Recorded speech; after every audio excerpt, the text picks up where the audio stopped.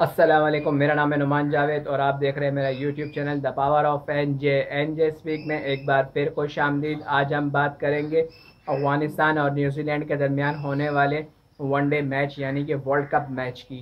तो क्या कहना यार, अफ़गानिस्तान का एकदम ही ऊपर हाई लेवल पे चले जाते हैं, उसके बाद दोबारा वहाँ से डाउन कोई परफॉर्मेंस नहीं, कुछ नहीं। कहाँ इंग्लैंड को कैसे तरीके से हराया उन्होंने? और कहाँ ये आके न्यूजीलैंड से कितना बुरे तरीके से हार गए।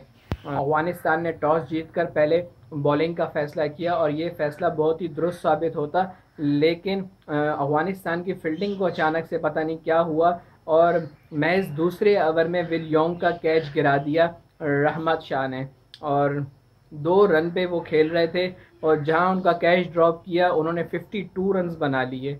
और उसके बाद जो पहली विकेट गिरी मुजीबुर रहमान ने गिराई डेविन कॉनवे की। विलियोंग ने 54 रन बनाए और उसके बाद रचिन रविंद्रा का भी कैच छोड़ा, जिन्होंने 32 रन बनाए। उसके बाद डेविल मिचल जल्दी आउट हो गए। लथम ने 68 रन बनाए 74 बॉल्स पे। इनका कैच भी बहुत ही आसान, मुजीबुर रहमान ने एक हाथ से कैच पकड़ने की कोशिश करी और उस टाइम ये 30 प्लस रन पे खेल रहे थे और जब ये आउट हुए तो इनके स्कोर 68 रन था, यानी कि 30 प्लस रन इन्होंने ऊपर बनाए। और फिलिप्स गेम फिलिप्स बड़ी ज़बरदस्त बैटिंग करी, ज़बरदस्त बैट्समैन है कीपरिंग भी करते हैं बॉलिंग भी करते हैं फुल पैकेज हैं ये। सेवेंटी वन रन इन्होंने बनाए। इनका कैच भी उठा था, राशिद राशिद खान के पास पहुँचा। थोड़ा मुश्किल था, मगर चांस था और ले सकते थे। उन्होंने भी आगे फिर 20-25 रन एक्स्ट्रा बनाए। तो अगर ओवरऑल देखा जाए तो तकरीबन तकरीबन 100 रन तो यही इन्होंने जो एक्स्ट्रा दिए कैश ड्रॉप होने की वजह से 50 विलियोंग ने मारी लथम ने 30 प्लस रन बनाए कैश ड्रॉप होने के बाद 20 प्लस रन इन्होंने बनाए फिलिप्स ने। तो ये तकरीबन 100 के करीब पहुँच गए। और अगर देखा जाए वो कैचेस पकड़ लिए जाते तो आई थिंक न्यूजीलैंड 200 रन पे ढेर हो जाता और ये आसान टारगेट हो जाता अफ़गानिस्तान के लिए। मगर जैसे कि मैंने बताया, एकदम हाई लेवल से बिल्कुल डाउन हो गए और बॉडी लैंग्वेज समझ ही नहीं आई कि कैचेस ड्रॉप करने लग गए।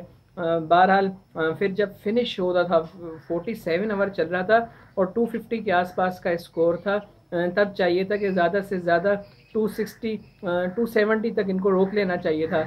लेकिन विकेट्स तो गिरी, लेकिन जब चापमैन आए चापमैन ने 12 बॉलों पे 25 रन झड़ दिए और क्या ज़बरदस्त को टस लगाई और 286 तक ले गए स्कोर। आखिरी तीन ओवर में उन्होंने मज़ीद तीस रन मार डाले।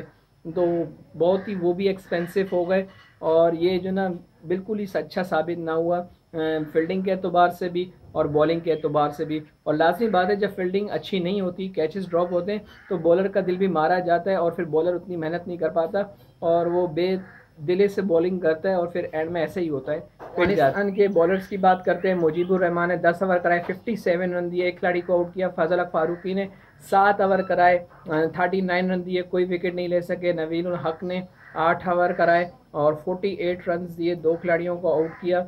मोहम्मद नबी ने आठ ओवर कराए, इकतालीस रन दिए, किसी को आउट नहीं कर सके।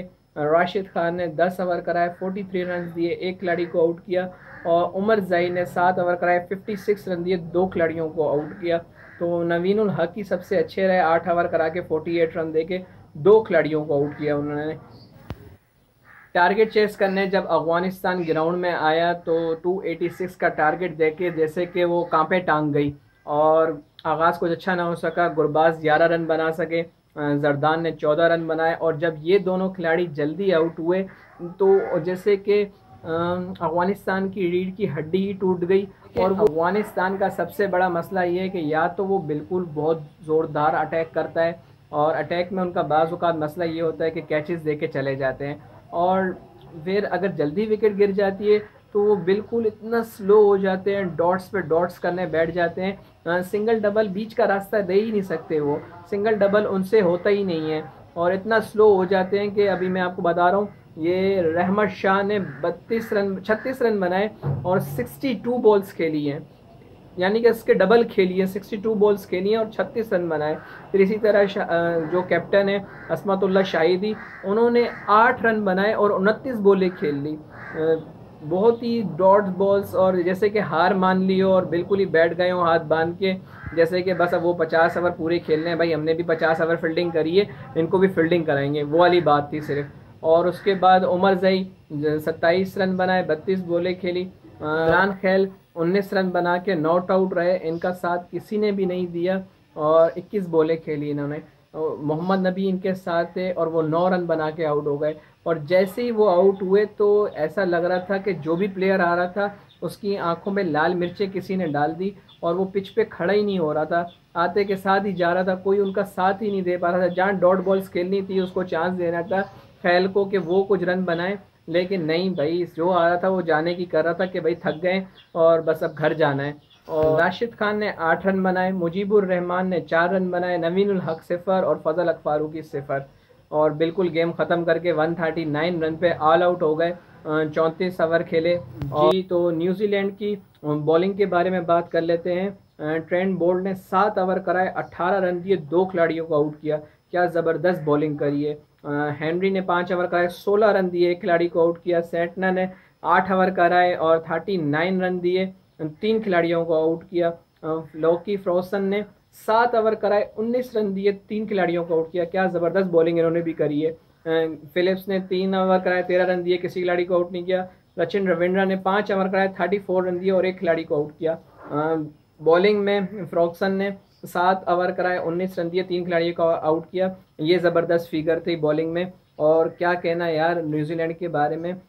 हर बॉलर भी उनके सही निकल के आ रहे हैं और अच्छे किरदार अपना निभा रहे हैं, पूरा बॉलिंग अच्छी कर रहे हैं और विकटें निकाल रहे हैं। उसके अलावा न्यूजीलैंड की जानब से क्या ज़बरदस्त बैटिंग भी देखने को मिल रही है बॉलिंग भी देखने को मिल रही है और क्या कहना न्यूजीलैंड का? हर मैच में कोई ना कोई बैट्समैन भी परफॉर्म कर रहा है।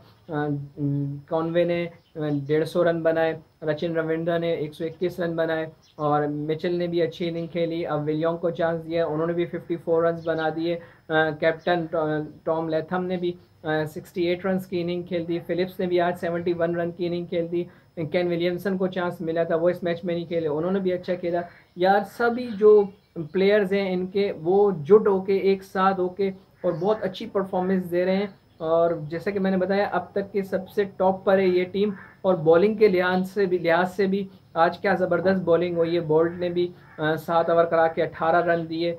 और जिस तरह लॉकी फेरोक्सन ने स्लैंटनर ने तीन तीन विकटें ली और कम रन दिए। क्या कहना है यार? ज़बरदस्त एक कंप्लीट जो पैकेज है न्यूजीलैंड का, वो ऑन है। और एक ज़बरदस्त टीम बन के खेल रहे हैं। और देखें हो सकता है कि सेमीफाइनल तक टॉप फोर में से ये हों। कुछ कह नहीं सकते एंड टाइम पे आके ये धोखा दे जाते हैं, ये और साउथ अफ्रीका साउथ अफ्रीका इनका कोई भरोसा नहीं होता। लेकिन पिछले कई जो अभी टी ट्वेंटी वर्ल्ड कप हुआ था, उसमें भी सेमीफाइनल तक आए थे। उससे पहले जो वर्ल्ड कप हुआ था 2019 में फ़ाइनल खेला था इन्होंने इंग्लैंड के साथ। तो बड़ी अच्छी परफॉर्मेंस दे रहे हैं और बस बहुत ज़्यादा बैड लक हो जाता है, जिसकी वजह से ये एंड टाइम पे आके हार जाते हैं। तो उम्मीद करते हैं इस बार ये जीतें, क्योंकि जो मेहनत करता है, उसे जीत मिलनी चाहिए डिज़र्व करते हैं। और और देखें, इस गर्मी में, कराची में, ये आप मेरे कमीज़ शर्ट के हालत देखें, पसीने से मेरा खुद का ये पसीना देखें, ये कराची में लाइट नहीं है और जो ना फिर भी आप लोगों के लिए वीडियोस बना रहे हैं, मेहनत कर रहे हैं। और प्लीज़ आपका प्यार हम डिज़र्व भी करते हैं तो लाइक सब्सक्राइब और शेयर ज़रूर करा करें ताकि हमें भी हिम्मत मिले और आपके लिए हम ये इन्फॉर्मेशन लाया करें। शुक्रिया थैंक यू खुदा हाफिज़।